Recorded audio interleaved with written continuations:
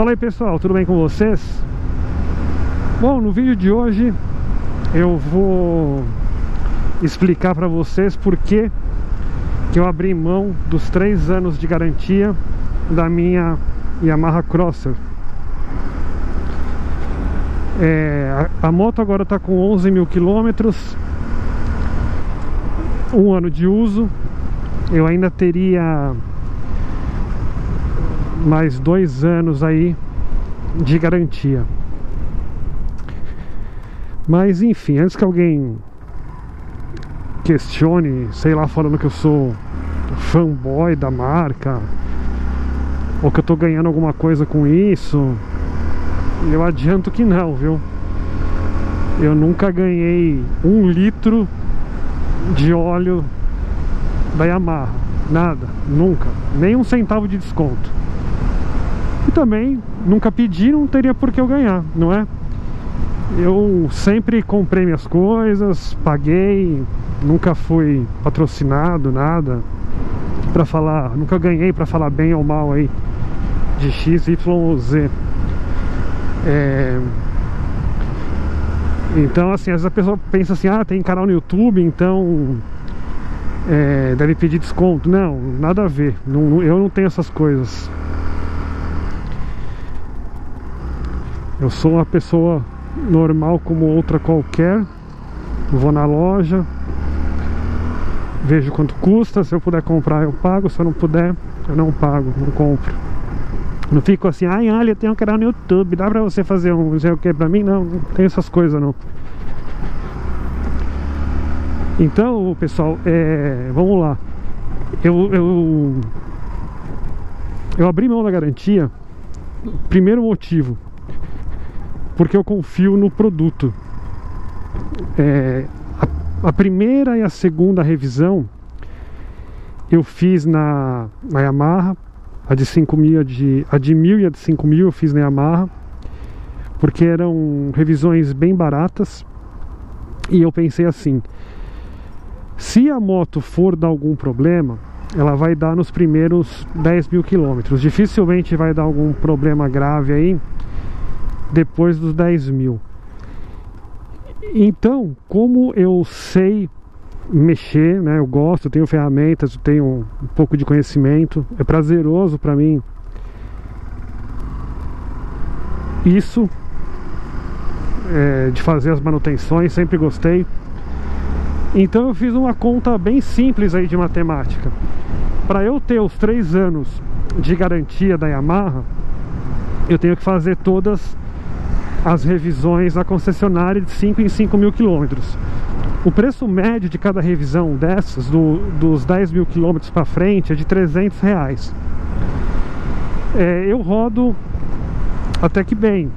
Agora estou rodando pouco, a gente tem época de pandemia aí, né? Sair de casa o mínimo possível. Mas eu rodo até que uns 80 km por dia tal. Então eu pensei assim, bom, essas revisões até acabar os três anos, eu vou gastar aproximadamente R$ 1.600 de revisões, né, com os preços fixos da Yamaha, para fazer todas as revisões e, e manter a garantia pelos três anos. Só que, como eu confio no produto e eu sei mexer, eu faço as revisões eu mesmo, tudo seguindo o manual, tudo certinho, bonitinho, então eu resolvi assumir esse risco é, porque mesmo que a moto dê algum problema futuramente aí, que eu acho pouco provável, mas vamos supor que dê algum problema, dificilmente eu vou gastar R$ 1.600 para consertar. Então é muito melhor, no meu ponto de vista, eu ter assumido esse risco e abrir mão da garantia, mesmo porque a garantia só a garantia, o, as revisões periódicas elas só são assim das coisas básicas, né? É, troca de óleo, lubrificação de balança, é, é, lubrificação de caixa de direção, é só essas coisas. Ah, essas revisõezinhas aí, elas não cobrem, por exemplo, pastilha de freio, relação, pneus, nada disso cobre. Tudo isso seria a parte. Então, então eu vejo que não justificaria eu pagar R$ 1.600 em, em revisões para trocar óleo e fazer lubrificações.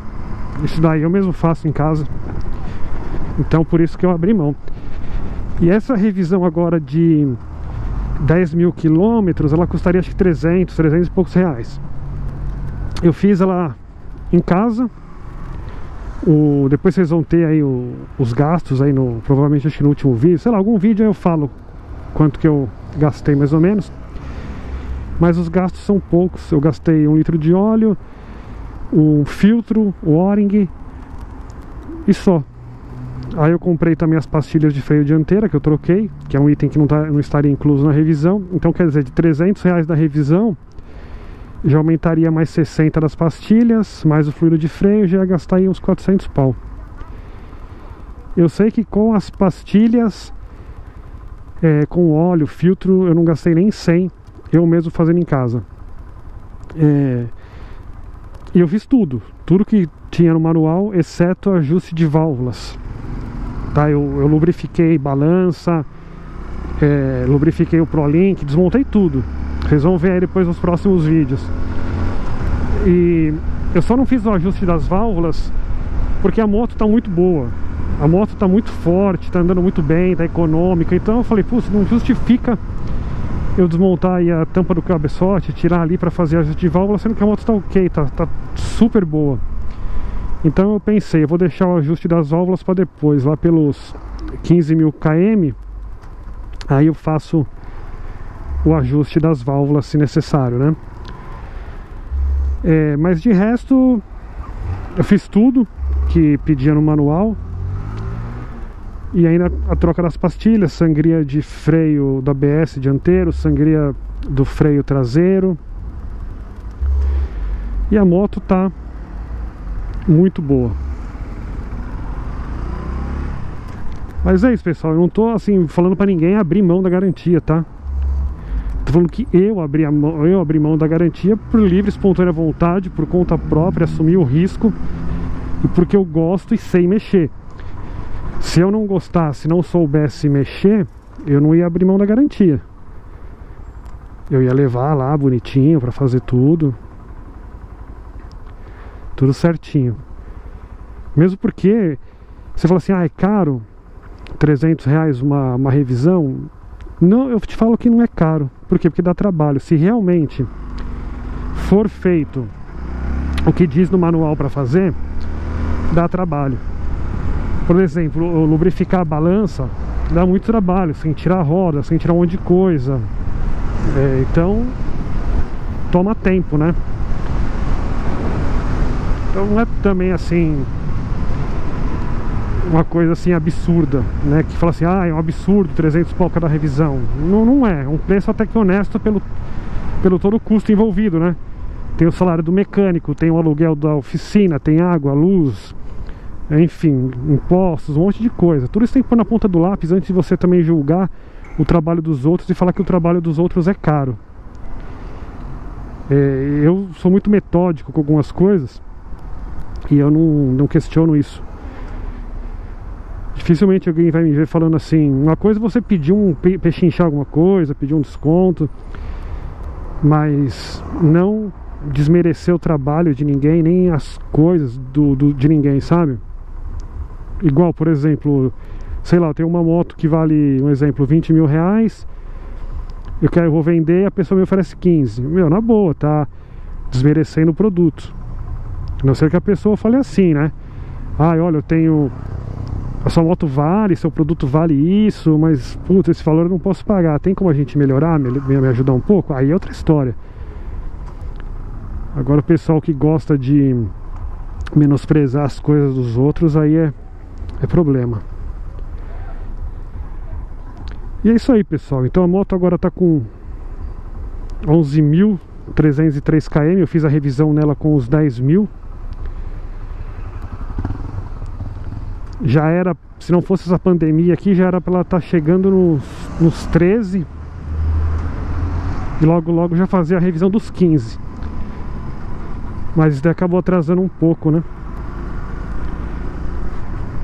Então é isso, e os vídeos eles serão uma vez por semana, toda sexta-feira às 8 horas da noite.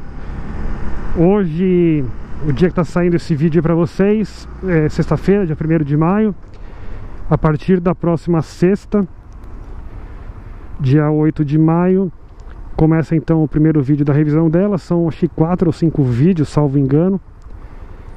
E aí depois provavelmente vai vir vídeo de funilaria e pintura.